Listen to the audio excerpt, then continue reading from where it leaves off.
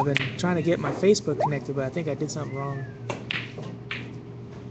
I mean, Facebook. On- posted to uh, Facebook. Okay, so now I'm streaming live. So now all my friends on Facebook can watch this. So I did this because of like the police brutalities, the police fights. Oh and yeah, just in case, huh? So you can film. Yeah. They cannot touch you.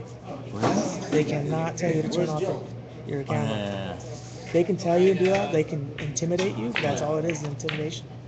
If you know your rights, you tell them, you know, I have the right to uh, free press. Oh yeah, yeah, yeah.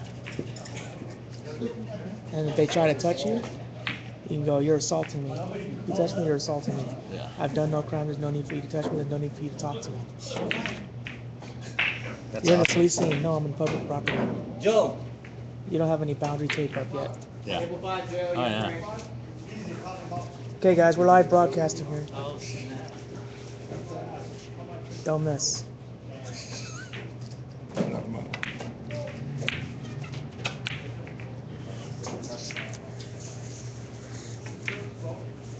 I got zero viewers. You got your phone on you?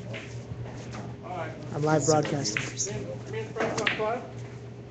Well, we're, we're playing even, right? Um, is that how you guys normally play? Yeah, I think it's it's pretty good. Okay. I was gonna have him give you breaks, but So this goes straight to my Facebook and YouTube.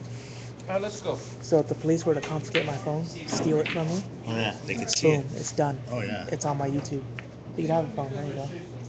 You're onto the conspiracy shit too. Oh, yeah, oh, Right, You yeah. were telling me about that last week. Dude, or it's a few weeks fucking huge, dude.